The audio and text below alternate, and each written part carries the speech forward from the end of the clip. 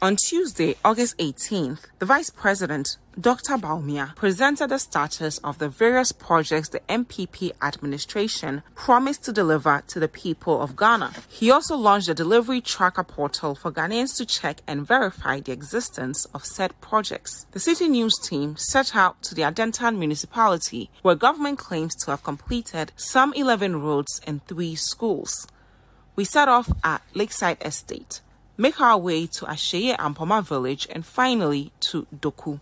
At Lakeside Estate, the road looks worked on, but still has huge potholes. Kobina, a resident, talks to us about drainage issues and its impact on the road. The road was constructed two years ago, and we have some patchy uh, uh, um, uh, uh, potholes on it, and the potholes was repaired about six months ago and uh, this area itself we have a big problem here.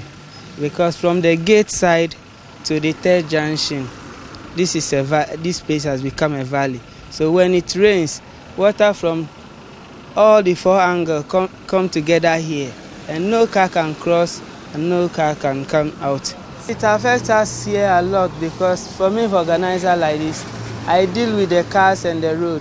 When inflating somebody's tire Drivers dodge potholes and drive towards me straight. And sometimes I get up and run from the road and give them way to pass. At Asheye Ampoma village, Asha, also a resident, says although the community is ecstatic about the completion of the three unit classroom block, the sizes of the classrooms are too small for the number of students. The school is up to JHS 1.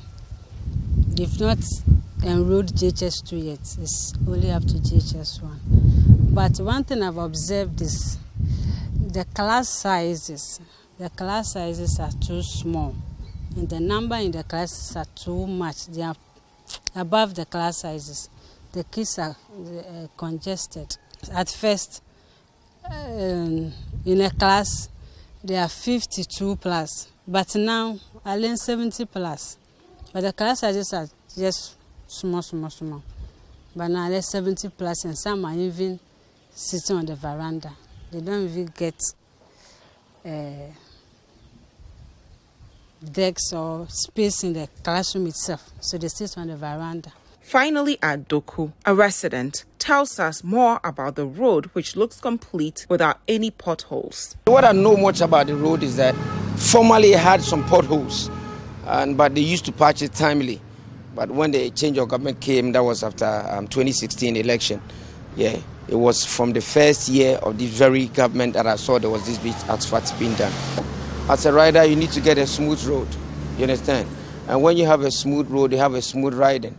There's no this kind of dodging potholes and a whole lot of things that will cause an accident. You know?